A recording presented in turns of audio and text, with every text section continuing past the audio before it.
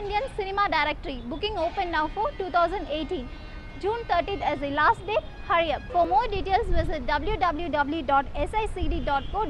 or 7449134 இன்னைக்கு ஸ்டாலின் முதலமைச்சர் ஆகிவிடுவேன் என்ற கணக்கில் இருந்தார் அம்மா இறந்த உடனே இந்த கட்சியை உடைத்து விட வேண்டும் என்று திட்டமிட்டு தினகரனோடு சேர்ந்து காயை நகர்த்தி கொண்டிருந்தார்கள் அதற்கு அவர்களுக்கு ஒரு இருபது எம்எல்ஏக்கள் தேவை அதனால் உடனடியாக ஒரு பதினெட்டு எம்எல்ஏக்கள் கிடைத்தவர்கள் வச்சு கவர்னருக்கு கொண்டு போய் மனு கொடுக்குறாங்க. யாரு? தினகரன். தினகரன் யாரு? அம்மாவால் கட்சியில் ஒதுக்கப்பட்ட ஒரு துரோகி. இந்த கட்சியில் இருக்கக்கூடாது நீக்கி வைக்கப்பட்டால் இன்று வரை அந்த ஆளை கட்சியில் சேர்க்கல. அந்த துரோகியோடு அம்மாவால் எம்எல்ஏ ஆக்கப்பட்ட பதினெட்டு பேர் பின்னால போயிருக்காங்கன்னு சொன்னா அவர்கள் சாப்பிடுவது சோறு தானா அல்லது வேறு ஏதாவது நீங்க சிந்திச்சுட்டாங்க இப்ப எப்படி நம்முடைய தம்பி பரமசிவத்தை என்னை நம்முடைய இருக்கிற அத்தனை எம்எல்ஏக்கள் அம்மா தன்னுடைய வியர்வை செஞ்சு ரத்தத்தை செஞ்சு பணத்தை கொடுத்து எம்எல்ஏ ஆக்கினார்களோ அதை போலத்தான் நன்றி கிட்ட அந்த பதினெட்டு எம்எல்ஏக்களை அம்மா உருவாக்கினார்கள். இன்னொரு மாபெரும் அம்மாவிட சிறந்த தலைவனா இருந்தா அவர்கிட்ட போனேன்னு சொன்னா எங்களுக்கு பெருமை. அம்மாவால் ஒதுக்கப்பட்ட கேடி ரவுடி என்று ஒதுக்கி வைக்கப்பட்ட இளைஞர்களோடு பதினெட்டு பேர் சேர்ந்துக்கிட்டு ஸ்ரீ மகாத்மா காந்தி புத்தரை போல் பேசுகிறார் என்று சொன்னால் கேட்பவனுக்கு ம- கேழ்வரையில் நெய் விடுவதில் கேட்பவனுக்கு எங்க போச்சு அறிவுன்னு சொல்லுவாங்க கிராமத்தில்.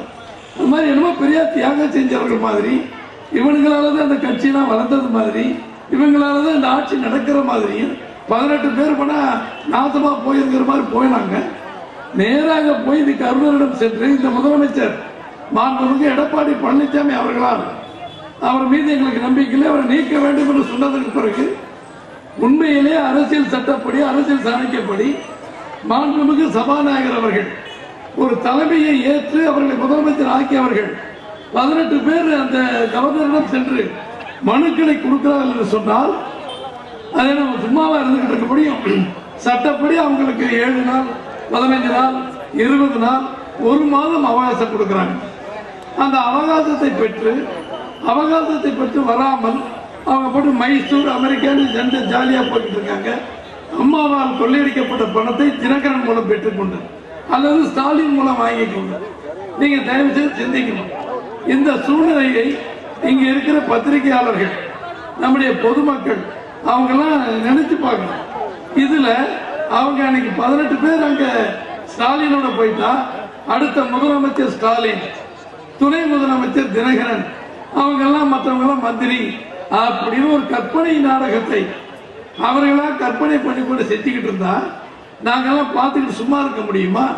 எனவே சட்டப்படி பதினெட்டு பேரை சபாநாயகர் நீக்கி இருக்கிறார் அரசியல் ஆண்மை இருந்தால் வழக்கு போடுவோம் வெற்றி பெற்றால் நீங்க வாங்க தோல்வி எடுத்தால் நாங்க போறோம். இன்னைக்கு என்ன தலைமை நீதிபதி பதினெட்டு எம்எல்ஏக்கள் நீக்கிய சபாநாயகர் உத்தரவு செல்லும் என்று சொல்லியிருக்கிறார்கள். அவர்கள் குறித்து நீங்கள் புரிந்து கொள்ள வேண்டும். இன்னொரு நீதிபதி செல்லாது சொல்றார். வரட்டும். இதற்கு முன்னால மூன்றாவது நீதிபதி என்ன சொல்றாரு கேட்டுக்கலாம். அதற்கு பிறகு உச்ச நீதிமன்றத்தில் முறையீடு பண்ணலாம். அதற்கு பிறகு உச்ச நீதிமன்றத்தில் ஃபுல் பெஞ்ச் இருக்கு. அதில் முறையீடு பண்ணலாம். மூணு வருஷம் ஆகுது நாலு வருஷம் ஆகுது. ஆகட்டுமே ஆனா அதுக்குள்ள தங்க தமிழ் செல்வன் என்ற எம்எல்ஏ அவருக்கு தளபதியாக இருந்த தினகரனுக்கு த- தூணாக இருந்து தாங்கியது போல நாடகம் அறிய அந்த தங்க தமிழ் செல்வன் நான் ராஜினாமா செய்வேன். இந்த ஆட்சி இந்த நீதியில் எங்களுக்கு நம்பிக்கை இல்லை. இந்த நீதிமன்றத்தில் எங்களுக்கு நம்பிக்கை இல்லை என்று சொன்னால் உங்களை எல்லாம் லட்டு போல எடுத்து மறுபடியும் எம்எல்ஏ வச்சா நல்ல நீதிபதிப்பீங்க சட்டப்படி சபாநாயகர் எடுத்த முடிவு சரியில்லைன்னு சொன்னா என்னத்துக்கு நீ போற? நீ போன என்ன அர்த்தம்? நீ நீதியில் இருந்து சட்டமன்றத்தில் நான் ராஜினாமா செய்கிறேன் என்று தமிழ் தங்கத்தமிழ் என்று சொன்னால் சபாநாயகர் தீர்ப்பை ஒத்துக்கொள்கிறேன் என்கிற அர்த்தம். சபாநாயகர் எடுத்த முடிவு சரி என்பதன் அர்த்தம். இது கூட யாருக்கும் தெரியாதா? என்ன நடந்திருக்கிறது உள்ளே? இந்த எட்டு மாதம் ஒன்பது மாதத்தில் தலைவனாக தூக்கி வைத்த தங்க தமிழ் செல்வன் அங்கே தூக்கி எறியப்பட்டிருக்கிறார் தினகரன் தினகரனால். அங்கே வெற்றி செல்வன் போன்ற- எம்எல்ஏக்கள். எவனும் போறதில்லை வர்றது ஒரு வேகத்துக்கு போய்கிட்டு இருக்கும். ஒரு மாசம் ரெண்டு மாசம் மூணு மாசம். நாடகம் எத்தனை நாளைக்கு தாக்கு பிடிக்கும்? அந்த நாடகத்தின் வீழ்ச்சி எல்லோரையும் போல அடிமையாக தினகரன் நடத்தியதனால் வெந்து நொந்து போய் "ஏய், நான் தங்கத்தமிழ் செல்வன்? எனக்கு வேண்டவே வேண்டாம் இந்த எம்எல்ஏ பதவி. நீங்க நிறைய விஷயம் சிந்திச்சு பார்க்கணும். இந்த ரெண்டு முன்னேறுவர்கள் ஆட்சியில் முதலமைச்சராக இருக்கின்ற எம்எல் நம்முடைய முதலமைச்சர் மாண்புமிகு எடப்பாடி பழனிசாமி அவர்கள் நம்முடைய தம்பி பரமசிவம் சொன்னாரு எங்கள் தொகுதிக்கு என்னென்ன செய்திருக்கிறது எத்தனை கோடிக்கு ரோடு போடப்பட்டிருக்கிறது எத்தனை கோடிக்கு மற்ற ப- செஞ்சிருக்காங்க அதே விலையை அதே பணத்தை நிலக்கோட்டையில் இங்கு எதிர்த்து போயிருக்கிற பதினெட்டு எம்எல்ஏ ஒருவரான தங்கத்துறை என்ற எம்எல்ஏக்கு அந்த தொகுதிக்கும் செய்திருக்கிறார். இது அப்பட்டமான நூற்றுக்கு நூறு உண்மை. இதுவரை அந்த எம்எல்ஏவை காணவில்லை தங்கத்துறையை காணவில்லை. நிலக்கோட்டை எம்எல்ஏ எங்கே என்று வால் போஸ்ட் அடிச்சு எல்லாம் ஒட்டியிருக்கான். அவர் வீடெல்லாம் போய் செருப்புல அடிச்சு கல்லெடுத்து அடிச்சிருக்கிறான். அதான் உண்மை. ஆனால் எங்கள் எம்எல்ஏ காலன்னு எந்த மக்களும் யாரும் கவலைப்படலை. இந்த ஆட்சி எங்களுக்கு தப்பு செய்து எதுவுமே செய்யலைன்னு எந்த மக்களும் சொல்லலை. ஆனால் தங்கத்தமிழ் செல்வன் சொல்றார் என் தொகுதி மக்கள் என்னை தேடி கொண்டிருக்கிறார்கள். கெட்டவனுக்கு ஓட்டு போட்டுன்னு தேடுறாங்க. என்னடா அம்மா அம்மாவுக்காக ஓட்டு போட்டாங்க. இப்ப எனக்கு தம்பிக்கு ஓட்டு போட்டிருக்காங்கன்னா எங்க மூஞ்சி ரெண்டாவது. புரட்சி தலைவி அம்மாவின் ரெட்டையில அதுல திண்டுக்கல் சீனிவாசன் வீட்டு பரம சொல்லிக்கிறார். போடுற நம்ம கட்சிக்கு நம்ம அம்மாவுக்கு தம்பிகள். ஓட்டு போடுறா நீங்க போடுறீங்க. எங்க முகரையில ரெண்டாவது தானே நாங்க ஒரு க- கருவி. அந்த மாதிரி ஒரு கருவி தங்க தமிழ் செல்வன். அவர் அவருக்காக ஓட்டு போட்டது நினைச்சுக்கிட்டா யார் யார் பின்னால் போனேன் தினகரன் பின்னால் போவதற்கு ஏக தழும்பு அவரு. முப்பத்தி ஏழு வருடமாக புரட்சி தலைவர் கொள்ளையடித்த சசிகலாவின் குடும்பத்தில் இருந்த ஒரு துரோகி தானே தினகரன்? அவரோடு நீ போகிறாய் என்று சொன்னால் மக்கள் உன்னை எப்படி ஏற்றுக்கொள்வார்கள்? நீதிபதிகளாக இருக்கிறத நீங்கள் சொல்லுங்க. இப்ப நம்ம தம்பி இங்க பேசினாரு எல்லாம் கை தட்டி ஆரவாரம் பண்ணீங்க. அது உண்மை. இந்த இந்த- இந்த வேளத்தை இந்த தொகுதிக்காக உழைத்திருக்கிறார். அது உண்மை. அம்மா இவங்க போனாங்கன்னா தினகரனே யாரும் தெரியாது. எங்கள் தலைவர் அது இதுனாக்கா ஏன்னா நீங்க வந்து இப்ப உங்களால தானே அம்மா சிறைக்கு போனாங்க? அம்மா சிறைக்கு போன்ற அவசியம் என்ன இருக்கு? என் அம்மாவுக்கு என்ன பிள்ளை குட்டி இருக்கா? புருஷ பிள்ளை இருக்காங்களா? வந்த பாசம் இருக்கா? நீங்களே சொல்லுங்க. கூடவே இருந்து மூட்டைப்பூச்சி மாதிரி அவன் கொள்ளையடித்த கும்பல் உங்களால் அந்த தாய்க்கு கெட்ட பேர் ஏற்பட்டது.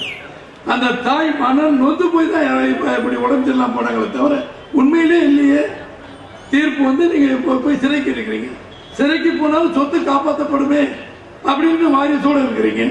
உங்களுக்கு தெரு தெரு ஒரு சோதனை வருதுன்னு சொன்னால் அம்மாவின் ஆன்மா உங்களை கண்டித்துக் கொண்டிருக்கிறது என்பதுதான் இதற்கு பின்னால் இன்னும் புத்தி இல்லாமல் அந்த தீர்ப்பை நாங்கள் பார்க்கிற என்ன சவால் வேண்டியிருக்கு யார் நீ? தினகரன் யார் என்று தன்னை உணர்ந்து கொள்ள வேண்டும். அம்மாவினுடைய வாரிசாக இருக்கிற எங்களை மாதிரி தோழர்கள் அத்தனை பதவிக்கும் தகுதி பெற்றவர்கள். நாங்கள் கடைகோடி தொடராக இருக்கலாம். ஆனால் அம்மாவின் புரட்சி தலைவர் எம்ஜிஆர் நிழல் அம்மாவின் நிழல் இருந்தவர் நாங்கள். எங்களுக்கு அந்த தகுதி உண்டு உங்களுக்கு உண்டு இங்க இருக்கிற அத்தனை பேருக்கு உண்டு. நாமெல்லாம் தகுதியானவர்கள். அம்மா வந்து அம்மாவை காட்டி கொடுத்துட்டு அம்மாவால் நீக்கப்பட்டவர் அதிகாரப்பூர்வமாக அண்ணா திமுகவில் உறுப்பினர் சேர்க்கப்படாத ஒரு துரோகி பின்னால் போன பதினெட்டு எம்எல்ஏக்கள். அவர்களும் மனிதன் நம்மளும் மனிதன் என்று பேசினால் தயவு செய்து நீங்கள் சிந்தித்து பார்க்க வேண்டும். இன்றைக்கு ஊர் ரெண்டு பத்தா கூட்டாடி கொண்டாட்டம் என்று சொல்வார்கள். அந்த மாதிரி எப்படியாவது முதலமைச்சர் ஆக வேண்டும் என்று ஸ்டாலின் ஒவ்வொரு நாளும் ஒரு போராட்டத்தை நடத்தி அவர் ஒரு பெரிய தலைவனை போல காட்டிக்கிட்டு இருக்கார் South Indian Cinema Directory booking open now for 2018. June 30th as the last date. Hurry up. For more details, visit www.sicd.co.in or 744 9134